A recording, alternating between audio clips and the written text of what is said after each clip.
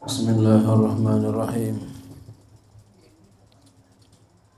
الحمد لله رب العالمين وبه نستعين على أمر الدنيا والدين. والصلاة والسلام على أشرف الأنبياء والمرسلين سيدنا وحبيبنا وشفيئنا ومولانا محمد وعلى آله وصحبه أجمعين. سبحانك لا علم لنا إلا ما علمتنا. lana illa ma'alamtana Innaka antal alimul hakim Wa la hawla wa la quwwata illa billahil aliyyil azim Amma ba'du قال المصنف رحمه الله تعالى وعلى ونفع في علوم في دارين آمين والابتداء بشكل aymani min jasadihi ini tentang sunnah-sunnah mandinya ada banyak di antaranya kemarin wudu dengan sempurna sebelum mandi menggosok seluruh anggota tubuhnya yang berikutnya mendahulukan dengan belahan kanan atau bagian kanan daripada badannya. Di kanannya dulu. Ya. Tapi sebelumnya nanti dimalak dulu baru kanan itu ya. Fi ifadatil ma'i muqaddamahu summa akhrahu ba'da ifadatil ma'i ala ra'si salasan. Di dalam menuangkan air di depannya kemudian belakangnya ya, jadi maksudnya sini ya, depan belakang kalau sini kan bisa air berjalan air Ba'da ifadatil ma'i ala ra'sihi salasan setelah menuangkan air di atas kepalanya tiga kali jadi palanya dulu lalu punggung kanan lalu punggung kiri jadi palanya dulu, punggung kanan, punggung kiri. Kalau kita baru mandi, mandinya nongkrong. Ya. Biar apa? Biar yang di bawah rata. Kalau kita diri, itu yang di bawah enggak rata. Jadi kita mandi nongkrong. Ntar udah ya untuk meratakannya lagi kita diri deh.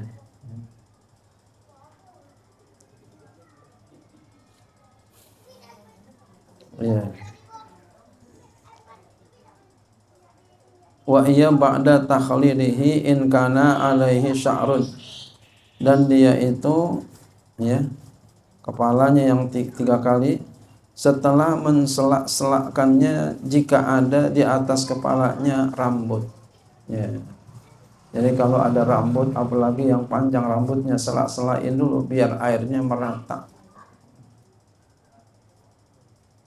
wa azza dan ini ba'da ghusli akli maktifin kal muqi wal ibti wal uzuni dan ini setelah membasuh setiap lekukan lekukan ya.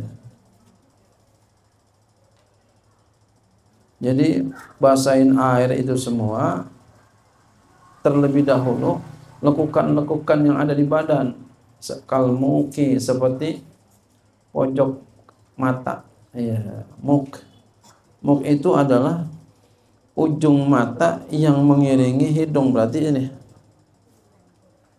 Ya tarful ain allazi lil ufu unuk unu unufa anfa ya. tarful ain allazi lil anfa ini? Belekannya. Sebelum kita mandi belekan dihilangin dulu. Iya. yang di mata. Di sini nih. Yang ngiringi hidung berarti sini. Belekan tapi sekarang alhamdulillah orang udah nggak banyak belekan ah. kalau dulu banyak banget orang belekan sampai bahkan ya Allah gede banget di sini saya ingat betul itu. Sampai jadi poyokan, namanya ditambahin belek. Iya.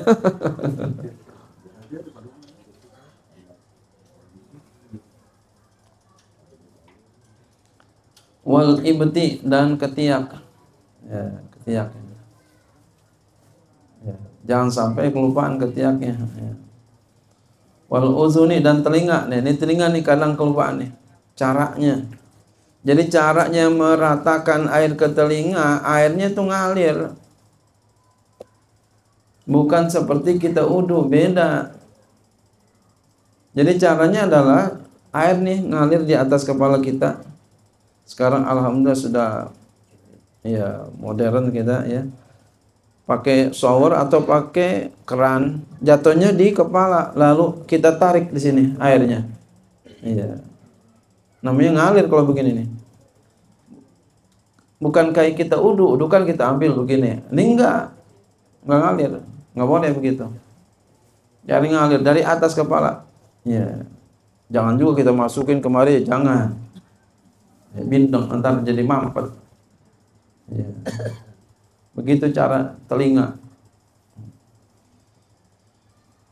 Iya, ini banyak orang yang belum paham di sini. Jadi sehingga nggak rata telinga. Wahada ba'dal madati. Nah, ini dilakukan ya, muknya, ketiaknya, hidungnya setelah kekumur. Jadi sebelum ini kekumur dulu. Jadi ini, ini hierarkinya, ya urutannya kekumur dulu. Jadi man, kekumur ini bukan hanya sunnah dalam wudhu, mandi juga sunnah kekumur. Wal istinsyaki sama, bukan dalam wudhu aja, dalam mandi juga sunnah istinsak. Kumur-kumur lalu istinsak masukin air ke dalam hidung. Cuek. Hidung. Nah. Baru kita bersihin ya. Ada nggak kira-kira tai mata kita, ya, ketek kita telinga kita. Masya Allah.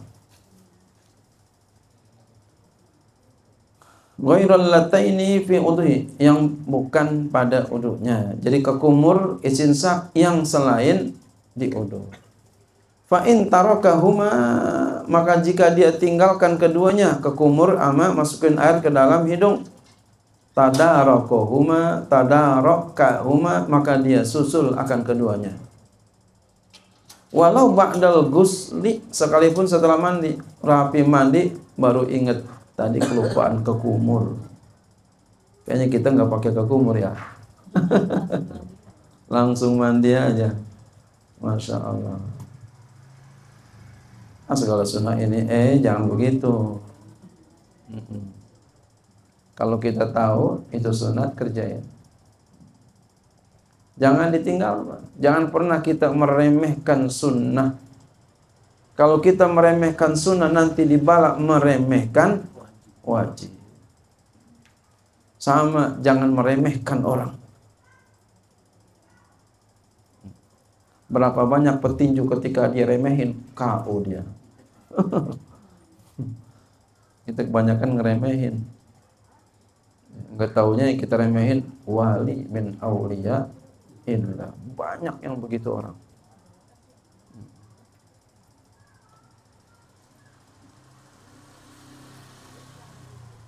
Imam Ghazali duluan jadi wali itu adanya duluan. Iya. Iya, udah sering saya cerita itu ya. Imam Ghazali yang duluan jadi wali adanya duluan. Ketika lagi sembahyang adiknya saudaranya saudaranya jadi makmum. Imamnya Imam Ghazali. Imam ya makmumnya ah, saudaranya Ahmad Ghazali.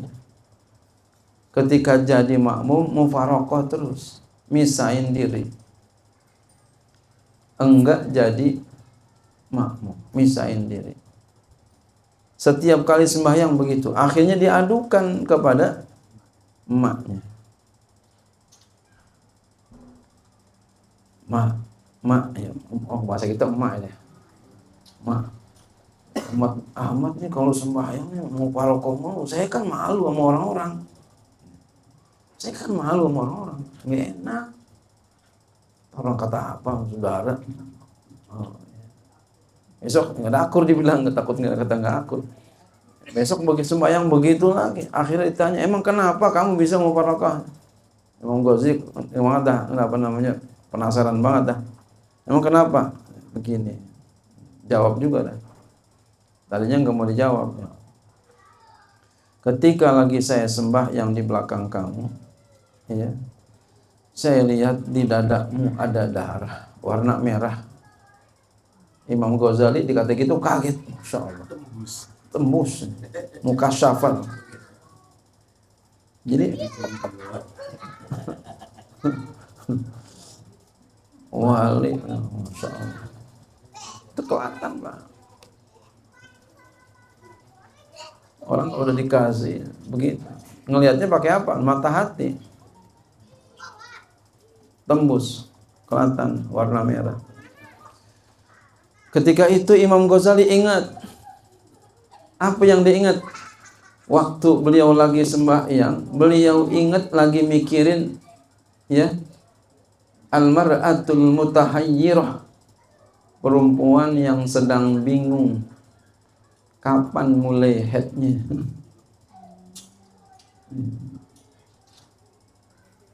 ya lagi mikirin perempuan yang sedang bingung eh, lupa kapan mulai headnya jadi Imam Ghazali lagi mikirin itu tuh ah terlintas di dalam sholat lagi lagi mikirin itu jadi Imam Ghazali udah hebat dalam bidang fikihnya jadi beliau lagi ngarang kitab belajar itu, lagi bikin. Udah hebat. Udah mumpuni dalam fikih. Imam Ghazali, oh benar kamu, Masya Allah. Benar. Saya lagi mikirin perempuan mutahayyirah. Bagaimana itu penyelesaiannya kalau ada orang perempuan lupa headnya. Makanya orang perempuan headnya dicatat bu ya. Iya. Jangan nggak dicatat, masuk bodoh aja kapan aja dah. Catat. Kemudian Imam Ghazali tanya, Masya Allah, kamu dapat ilmu begini dari mana? Ini diceritakan dalam kitab Marokil Ubudiyah. Syarat kitab Bidayatul Hidayah. Kata Ahmad Ghazali, itu dari tetangga kita tukang sol sepatu masya Allah nih kita jangan remehin orang. Nggak taunya tetangga kita itu wali min aulia illa orang alim fillah billah. Kita cari-cari di jauh-jauh di mana-mana. Nggak taunya ada di belakang kita orang alim masya Allah. Kita lupakan. Akhirnya Imam Ghazali belajar, datang kepadanya. Masya Allah. Nah, Imam Ghazali bukan orang sombong. Beliau orang yang tawadu. Walaupun beliau sudah ahli fikih ketika itu udah jadi ahli fikih mau ngaji sama tukang sol sepatu. Coba kita dengar begitu tuh.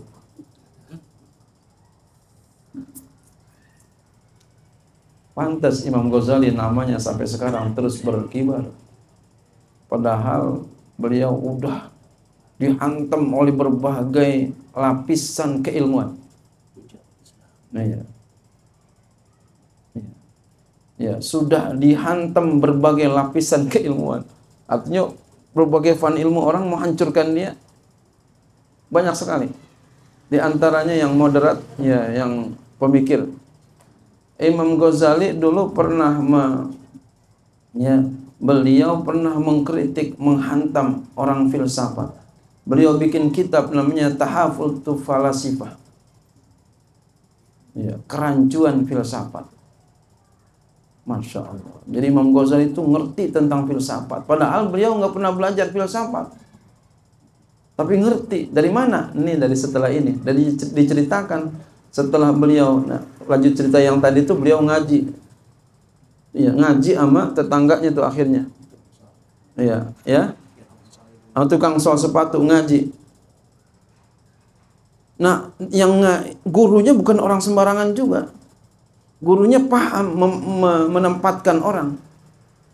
Ya, karena tahu nih gurunya nih tukang sol sepatu kalau Imam Ghazali udah hebat. Ya, gurunya udah, udah tahu seperti uh, Aba Anom Ya, seperti Abah Anom. Gus Dur pengen minta talkin, nggak dikasih. karena beliau udah punya di dalamnya. Masya Allah. Jadi tahu menempatkan orang. Nah, Imam Ghazali pengen ngaji kepadanya, cara ngajinya yang cepat, yang gasik, tapi hasilnya banyak. Masya Allah. Kata gurunya, bersihin itu. Iya. Itu kotoran di bawah bupet bersihin. Iya. Satu riwayat mengatakan beliau buka bajunya ya ketika mau dibersihin cukup udah. Ada satu riwayat mengatakan sampai dibuka eh, dibuka sampai beliau bersihin semua udah selesai lalu beliau disuruh pulang. Ngajinya kapan? Udah udah ngaji. Mana? Tadi tuh. Ngaji apanya? Patuh sama guru. Itu kan melawan guru mulu bahkan kita kadang ngeritik guru diomongin guru di belakang ya kagak sampai kita putus keberkahannya. Udah sampai. Udah ngajinya udah udah. Suruh pulang.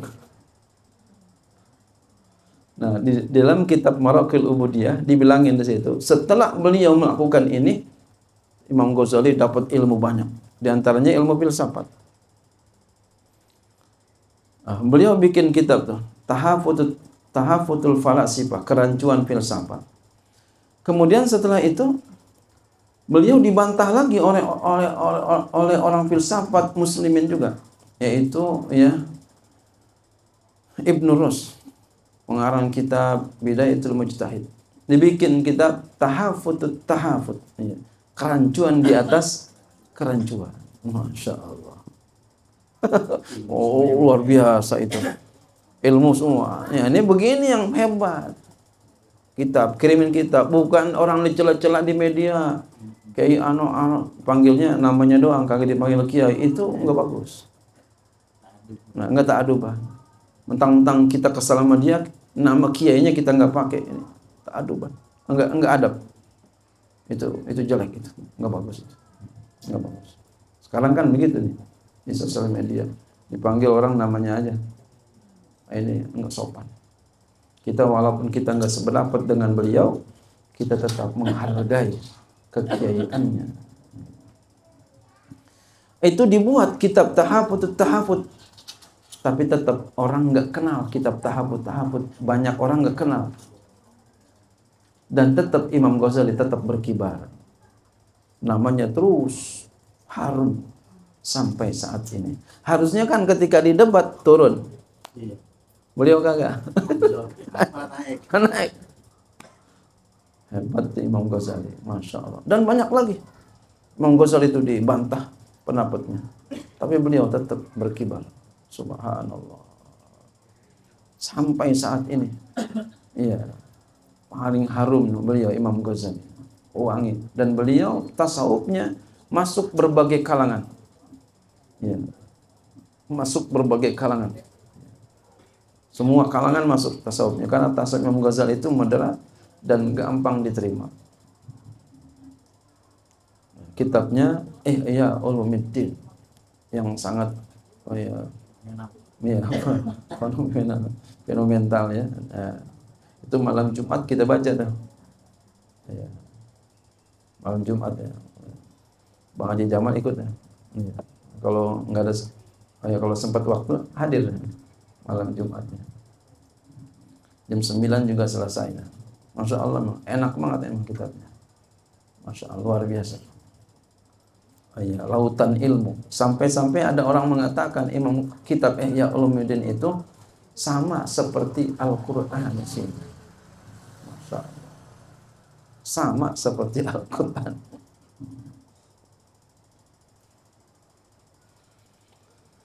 Nah, itu cerita tentang ya ulama yang ya masya Allah.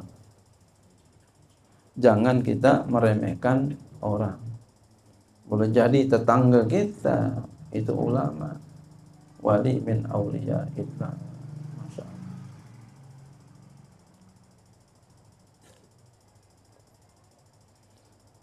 Walau ba'dal ghusli khurujan sekalipun setelah mandi karena keluar min khilafi Abi Hanifah daripada khilaf Abi Hanifah fa innahu maka sungguh Imam Abu Hanifah aujabahuma mewajibkan keduanya ke kumur dan masukin air ke hidung. Jadi Imam Abu Hanifah wajibin tuh. Sebelum mandi ke kumur dulu, masukin air ke hidung. Kita kayaknya nggak pernah begitu ya. No. Oh, iya. wa ta'mimu jasadihi bil ma'i salasa marratin dan meratakan badannya dengan air tiga kali. Ka'an yagasila ra'sahu seperti bahwa dia membasuh akan kepalanya bisobbi dengan menuangkan jumlatan wahidatan sekaligus. Min ghairi tayamunin dari tanpa berkanan. Jadi jangan sebelah pala sebelah kanan, pala sebelah kiri. Ribet amat begitu. Langsung aja udah. Iya. Wayat luka usalas dan dia gosok akan dia tiga kali. Summa yaksila jambahul aiman kemudian dia basuh akan lambungnya yang kanan. Ya bagiannya yang kanan. Lambung yang kanan al muqaddama yang di yang depan wayad lukau dan dia gosok akan dia summa muakhara kemudian yang belakangnya. Summa janbaul aisar kemudian bagiannya lambungnya yang kiri al muqaddama yang depan summa muakhara kemudian yang belakang. Marratan sekali summa saniatan kemudian yang kedua kali summa saliasatan kemudian yang ketiga kali kadzalika. Seperti itu wastiqbalul kiblati dan menghadap kiblat. Sunat. Lagi udu. Hala hala gus lagi mandinya. Hala gusli ketika mandinya menghadap kiblat. In kana masturul aurati. Jika dia itu terbuka aurat. Jika ya, tertutup aurat. Jika dia itu tertutup aurat menghadap kiblat. Wa illa jika enggak fala yastaqbiluha maka jangan dia menghadap kiblat ini kalau di tanah lapang.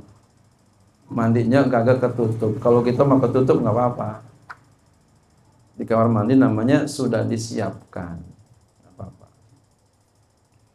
Ya kayak sama dengan buang air besar sama kayak begitu. Ah, buang air besar itu kayak begitu sama. Oh dulu kan emang ya. Jangan zaman ini, zaman kita kecil aja udah, aduh, Ya Allah. Ini kalau saya jalan dari sana nih, dari belakang rumah jalan-jalan memancing itu masih kecil, masih SD memancing mulu. Jawa Barat. So, sawah ini? Jawa Barat. ya, ya itu ada aja orang main tebar-tebar aja. Ya Allah. Itu kalau kita jalan ke sawah nggak boleh meleng. Kalau meleng, aduh, kesepak. Iya. Itu pengalaman saya pengalaman itu. Aduh ya Allah, malah tuh ya malah isinya kecapi mulu.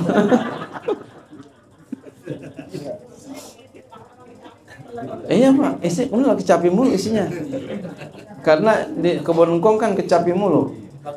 Iya. Wahyu sopa itu kayak sopa beliau itu orang metik buah-buahnya enggak ada yang diomelin saudara. Enggak ada. Apaan aja lu petikannya lu makan-makan aja. Ada kita begitu orang. Sampai durennya duren ini kita berebut sama yang orang. Sama yang punya berebut. Kan lucu. Siapa yang duluan yang dapat Cepedaknya ada yang metik, metik aja, makan makanannya. Itu diungkapkan oleh orang perjuangan kepada saya. Masya Allah kita kagak ada tuh, kau ngaji ngomelin kita nggak ada, nggak ada. Makanya pada demen mereka tuh pada main ke situ. Oh, iya. Kios, oh. Paling yang kesel banget kalau orang main koprok. Yang di bawah punasem. Punasem, punsal, punasem yang banyak itu. Paling main koprok, tapi yang udah jadi kebiasaan susah. Pernah encing saya, encing Haji Miftah itu, itu saya dan cucunya yang lain ngerjain tuh. Ya, ee -e di rumah, ee-nya dibawa dibuang ke di bawah punasem di tempat me, mereka main koprok besok besok kita liatin. Masih ada aja orang koprok nggak nggak taunya jebuang itu gitu. Waduh benar-benar yang benar. Udah susah emang lah. Kebiasaan. Itu yang main koprok pakai songko juga.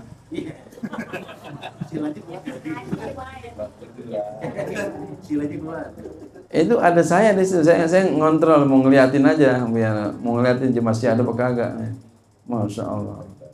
Temennya bilang lu main koprok pakai songko. Ya main songko ya songko songko aja koprok koprok aja katanya. Masya Allah. Allah Allah Allah Allah